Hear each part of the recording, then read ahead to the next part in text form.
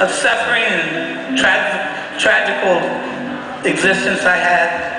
And uh, the radio was always there to comfort me. Love you!